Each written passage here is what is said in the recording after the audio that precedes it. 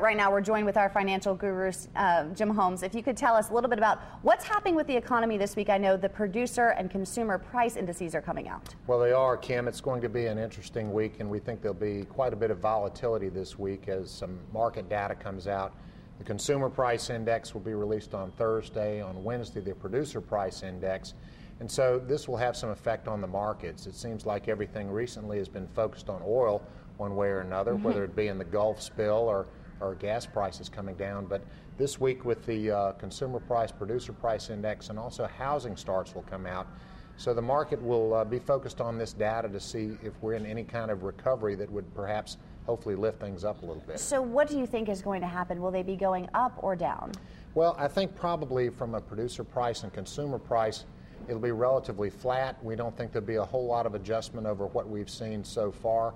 Uh, we think the markets have got so much to focus on right now. And, and when I say that, I talk about the situation in Europe with uh, banks mm-hmm. in Spain and, and also the focus on the Gulf. But um, I think these are indicators that, that hopefully our economy will be improving as they come along. But for right now, we think the numbers will be fairly flat from what we've seen. Well, flat is always better than, than getting worse right now. That's, That's right. actually, we could consider that good news in this economy we've That's been seeing. Right. Now, every, what everyone wants to know at home, you know, as we head into the first uh, half of the year, what should investors do when it comes to evaluating their portfolio when these sort of numbers come out?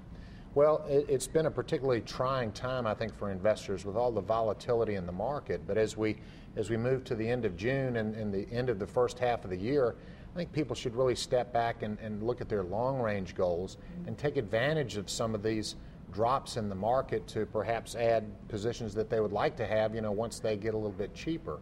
So I, I think individuals should take a look at the volatility mm-hmm. and let that be their friend and pick up uh, stocks that, that they've had their eye on, you know, once the prices drop, but also really keep a, a focus on the longer term and, and perhaps level out the portfolio with some bond positions, but, but really just kind of focus on their long term goals and, and, let the volatility work for them and take advantage of it as they can. Anything else you wanted to let folks know about this? Well, we, we think that, uh, you know, by and large, things are improving, but it's a little bit hard as we look at high unemployment numbers still and, and many of the geopolitical issues around the world with the BP situation and, again, the situation with uh, the banking industry in Spain. But we really feel like these things will level out at some point, and, and hopefully, this oil spill in the Gulf will become old news.